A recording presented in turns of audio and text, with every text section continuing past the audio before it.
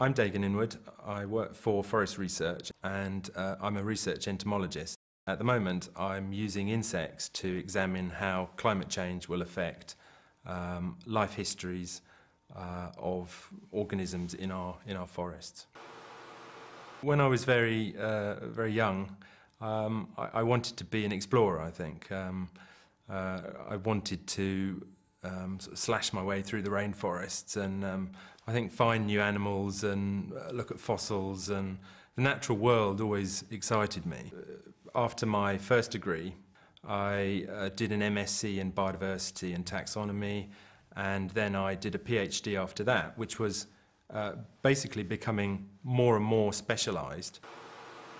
One of the most inspirational um, events in my life, perhaps, is um, was my first opportunity to work in the tropics, uh, to work in a rainforest, to sort of feel at home there and to be really inspired that what I was doing was somehow linked to greater things, you know, not, not sort of working in isolation, but this is what it was all about.